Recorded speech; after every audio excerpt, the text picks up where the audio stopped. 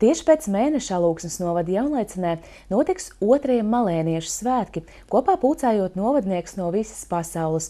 Svētkiem gatavojoties, šobrīd top arī grāmata, kas iepazīstinās ar malēniešu valodu.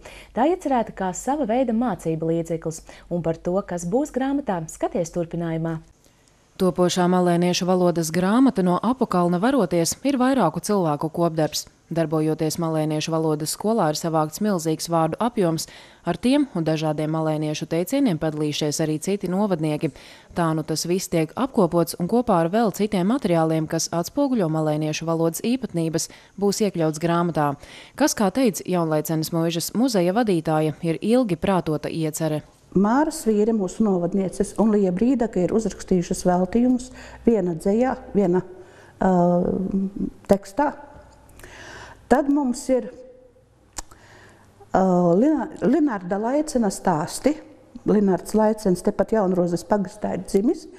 Un mūsu rīcībā ir šādi, šāds viņa izdevums – Tā ir kopija no Nacionālās bibliotēkas, kur glabājās šis te oriģinālais, um, oriģinālā brošūra, un uh, vecajā drukā viņi ir. Tad, kad mē, mums šis te nonāca mūsu rokās, malēniešu skolā, jo mēs meklējām visu, ko varējām dabūt rakstisku par malēniešiem uh, un, un, un tā. Ja? Un tad mēs sapratām, cik ļoti vērtīgi ir šie stāsti.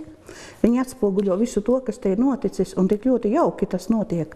Un te ir tik ļoti daudz malēniskā iekšā, ka mēs nolēmām šo, šos Lenārda Laicina stāstus iekļaut savā grāmatā, literāri un malēniski. Viņi būs blakus literāri un malēniski.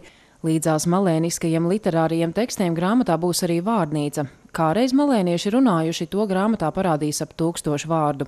Šobrīd vēl tiek veikti pēdējie labojumi, lai nepieļautu neprecizitātes.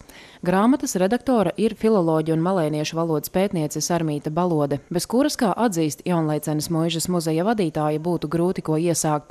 Iekļaujot grāmatā arī dažādus malēniešu stāstus, tos papildinās arī vairākas ilustrācijas. Piemēram, šī ilustrācija ir teikai kāsītis ugunsdievs.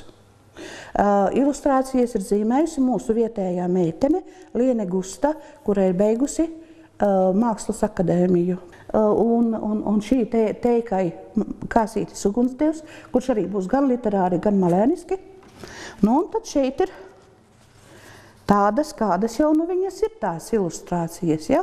kas uh, ilustrē to visu, ko mēs tur tajā grāmatā stāstam. Desmit ilustrācijas ir. Nu, piemēram, šī ilustrē uh, Aivars Puzulis, mums arī tāds uh, malēniešu skolas uh, skolnieks viens, ja? uh, viens no tiem, kas ļoti labi runā izloksni, Un viņš arī sarakstījis ir trīs stāstus, un arī tos mēs iekļāvām grāmatā.